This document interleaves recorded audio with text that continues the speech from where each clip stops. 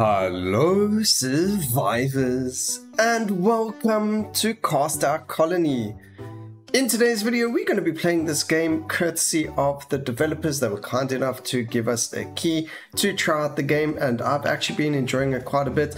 Now, the game is like a base builder as well as a roguelite, so as you can see, we can go and clean up our colony. Uh, the premise of it is essentially we got kicked out of our own colony and we have to start over and uh, kind of go there. Now, we do defend the colony, that's the whole roguelike uh, shtick to the game and we can go then and you know grab buildings get more powerful so if we go look over here we've got ourselves the gym the ultimate protein powder over here with gyms and bell bars and if we go and speak to this guy Iron Chad we get our meta progression over here so it tells us all the stats by pressing tab what they all do and then we need to go and collect all of this uh, for everything. Uh, I have no idea what a workout fee does, but I gotta go check that. Maybe that has to do with the level, or maybe that's just a strength bonus. But uh, when we get to a thousand, we'll have a look. We'll see once we finished the round uh, to see what that actually does ourselves. And then like things like the well are aesthetic, and then you can go to the workbench over here and go and upgrade your base as you like. But as you can see, there's a whole bunch of different things. Uh, let me just pretend to put something down. And you can see there's a whole bunch of things in the yard to go and destroy. And we can then go and get a more, uh, uh, what do you call them, helpers uh, to go and help us get rid of this stuff. So right now we've only got one helper there and we need to unlock the other two to be able to go and get rid of the big blocks. So uh, we, we, we got to still work a little bit over there. But let's get straight into the actual gameplay. Let's just go and take a look. We've only unlocked the first level. We haven't even completed it just yet. It is quite difficult. It does require quite a bit of grinding. Uh, but you know that's typical of these games. There is no auto aim in the game as well, which is a bit uh, unfortunate. It would be nice to have seen an auto aim. Uh, would make it a lot easier, especially with the grinding. Uh, if we could just do the movement and not worry about where we're hitting. But besides for that, uh, everything else about it is pretty cool. There are other characters which use the same currency to unlock. So you know, again, a lot to farm for, but at least it's only one currency that you are farming for to unlock everything. And once you've got everything there, you can work on what it is that you want to work on or whatever it is, uh, you know, what you're aiming to get. And then as you can see, are enemies like this one that have the red eyes. These are the elite enemies. As you kill them, they drop a chest. If you're lucky enough, the chest will turn into a a rarer chest, which gives you three upgrades instead of just one. But in that case, we upgraded our Stick Fu. Quite a funny little name over there. And again, like I mentioned, we, we got to go and get a couple of upgrades to kind of help us. Now, velocity, it is a rare passive skill. Its projectile speed is increased. We don't have any projectiles uh, active, so we're just going to upgrade our Thorn Whip. I actually don't really personally like any of the projectile skills right now, so here's a projectile one. Again, not really such a fan of it per se, so we're going to go and upgrade our Thorn again. Uh, again, I don't know, it's just personal preference, of course. We probably will end up taking it, but much later, and then the projectile speed for it doesn't actually matter because the enemies are on top of you anyway all the time, so I really don't see a point in getting that.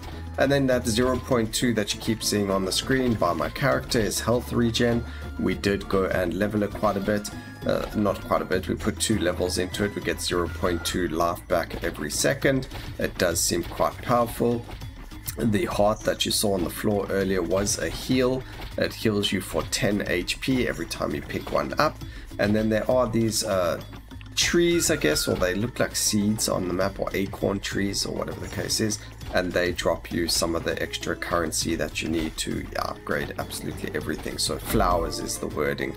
Alright, so we're going to go for the leaf barrier. That's the same as like your garlic or Every other game has their type of rotating skill around you, and this is this game, so you rotate a leaf around you that's going to hit enemies for a specific amount of time, and then it disappears. As you level it up, it deals more damage, it spins around you faster, you get more leaves that spin around you, and so on and so forth. So we just run around in a circle, try and get ourselves as much XP as possible, looking to get as powerful as possible like we want to do in all of these. Now, as we progress through the waves, we are going to see new enemies spawning. We are going to, like, there we go. We see Venus flytraps now.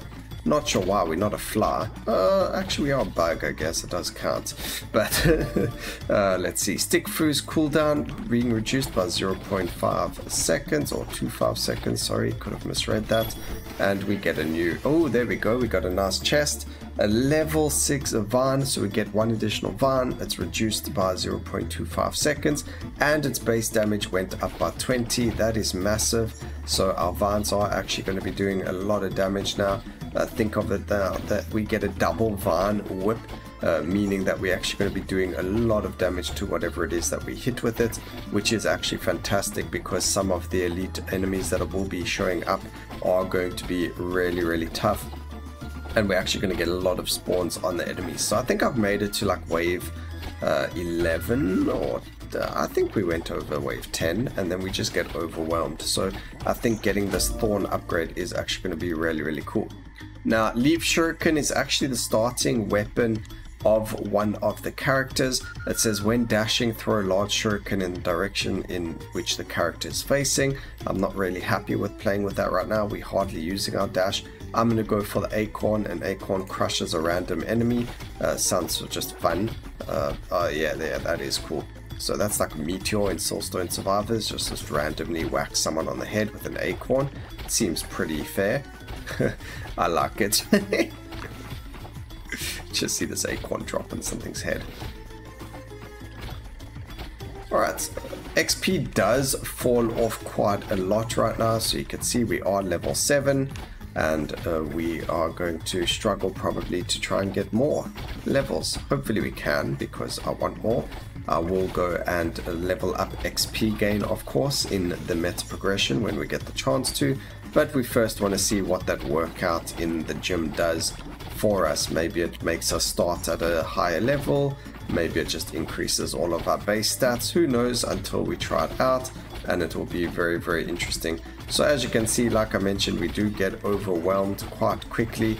Uh, luckily we do have quite a lot of damage coming from the Vine Whip as well as our base attack but we do want to try and get all of these things. I want to try and get away from here because as soon as the elite spawns, it's going to be a lot harder for us. Alright, we do get a... Ooh, yeah, we're going to go for the cooldown on it. So there's the next elite. We should be able to kill it relatively quickly because we are really strong right now. Especially with our Vine Whip. As long as I actually hit the elite with the Vine Whip, that would be great.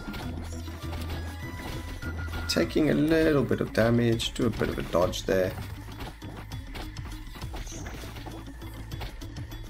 Alright, so the elite is dead. Do we get another big chest? No, we didn't. We get another plus uh, projectile to the leaf shield, which is like I said, you do get more leaves as it levels up, and we do get a whack ton of XP from that chest as well, so close to the next level up. There we go. Light flashes around the character, uh, temporarily stuns enemies. That is actually really, really good. I'm happy to grab that one. Stunning enemies is going to be very, very impactful in life. So we happy to grab that. That was a rare upgrade, a rare skill as well. So very happy to take it. We get a bug zapper. Survivability. Alright, now every time I have played this, and even though I keep dying and I haven't really finished the map, we still unlock more and more and more every time we die or every time we go there. There isn't a glossary as far as I know. Uh, we'll go double check the library because we do have the library unlocked, but I don't recall seeing a glossary. If there is a glossary, then that will help to see, you know, how you unlock certain things but uh, as far as I know, it's just playing the game. As soon as you just keep playing, you keep unlocking more and more and more. You unlock more buildings, you unlock more skills, more uh, passives, more actives. You know, it just you get stronger and stronger with every single playthrough in the game. So there is some form of progression. You don't feel like you're doing the exact same build or the exact same playthrough in the game. I just I don't know the only thing to me is the amount of XP. Uh, I do wish the XP gain was a little bit better. Okay, here's the next elite. It is a fly trap. And now we get a lot of enemies spawning around us. So we kind of got to just maneuver ourselves around quite a lot. I do want to try and kill this uh, fly trap as quickly as possible because the quicker we can kill it, the sooner we're able to get that chest, that juicy, juicy chest with all of the XP in it uh, for ourselves. Alright, that was actually a really quick, uh, you know, kill on the elite over there. So that was massive. We do get all of that juicy XP over here as well beautiful. We've nearly leveled as well again, which is going to give us even more power. So come on, give me level up. Yeah. Alright, we get to increase the Zapper's stun duration. That's fantastic. I would like it to have a low cooldown though, because the more we can zap, the more safe we will be. But let's see. We're on wave 8 now.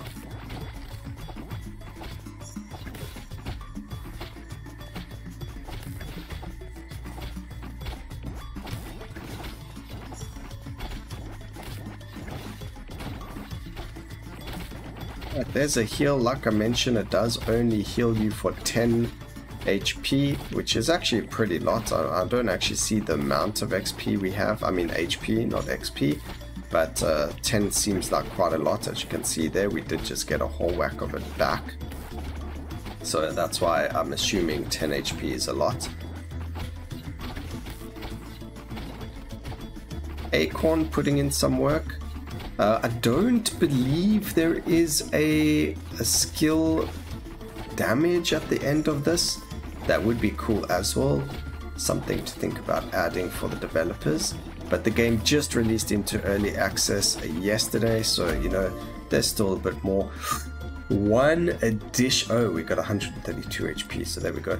One additional thorn. I do like firecracker as well but we got to go with the thorn whip a triple whip. That is a massive amount of damage coming in right there. I think that chest where we got a three thorn whips was actually insane. It really helped us get ahead of the uh, you know the pack if you want to call it that. And this definitely looks like a really really good run uh, for us today. So this is fantastic. We also do unlock our ultimate, so we're going to use it right now just so you can see what it's like. So we spin around, you know, you we become a Beyblade of a bug, quite cool. And we get to unlock the next level of the Zapper. We reduced its cooldown by 0.5 seconds, which to me, I think that's a pretty decent cooldown. As nearly a second, uh, you know, cooldown on a skill is actually quite big. Depending on what its actual cooldown is, but you can't really click on anything, so you don't really get to see it. Alright, plus one additional projectile, that means we get two acorns falling on things' heads now, that's beautiful. You love to see the damages.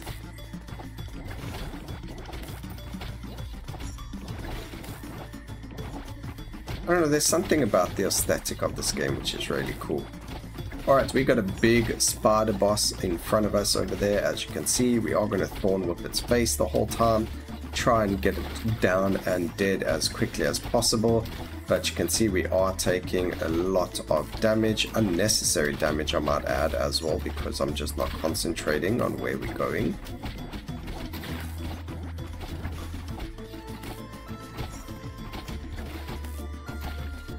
Give me laugh. Ooh, a magnet. That's beautiful. Damage increase for our Thorn Whip. Yes, please. Oh my gosh, does so much damage. I don't think it's actually going to help us though, because as you can see, we're just not killing everything around us fast enough.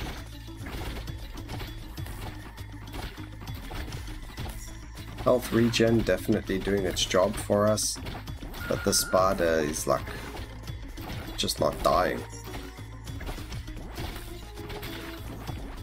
So this is why I would like the auto aim. So this is where I got to last time as well. We just didn't manage to kill the spider. And then we start getting these like uh, lizard, gecko kind of enemies. And we just get overrun. So still not powerful enough to finish the wave. It does say there's 24 waves we only on wave 12 we can't even kill the spider I have no idea what happens if we do kill the spider as well I don't believe I've killed it before But as you can see, we are overrun and we're going to get chomped here very soon. No, I don't want to get chomped. Don't chomp me.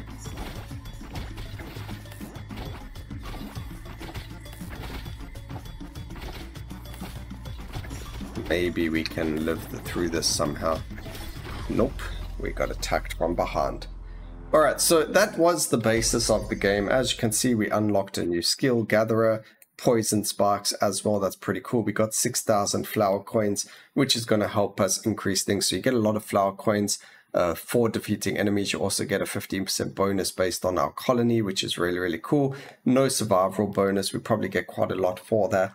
Let's go back to the colony so we can see what that gym upgrade is. We are going to go and upgrade some of our passives and hopefully that helps us. So you do get different characters over here. We do get the uh, uh, Anisoptera over here with the Leaf Shuriken as your starting skill. He does get a lot of dash upgrades as his perks, so that's very interesting. We get a Rock Cat, um, that's probably just a, a, a, projectile speed. Yeah, I thought so. Crystal Orbit, no idea what that does. Stink and Stinger. So we do have to kind of unlock all the characters to try and see where they all go and what they do. But before that, let's go take a look over here. We didn't unlock anything new for the colony, which is a bit unfortunate.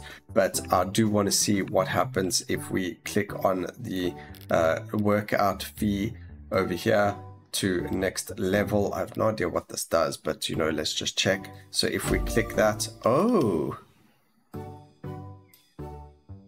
Okay, so we're going to click on that. Does that mean now that we start the run with that over there? That is actually very, very powerful. So let's grab that one more time and fire sparks out the character in four diagonal directions.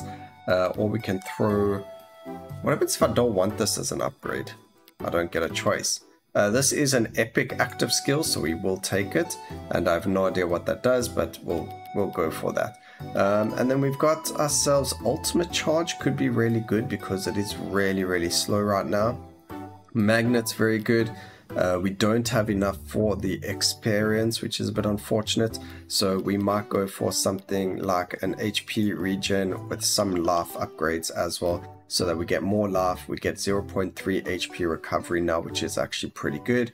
And we can't afford anything else over there. So next video, if you guys enjoyed this one a lot, we can go and take a look at whether or not this works out the way that I think it does. It does show us as starting off at level 3, so I think it does. And that it makes us a lot stronger and probably go a lot quicker uh, throughout the gameplay. But I hope you guys enjoyed the video. Please remember to like, comment, and subscribe for more videos like this in the future. And always remember, keep safe survivors. Until next time, cheers.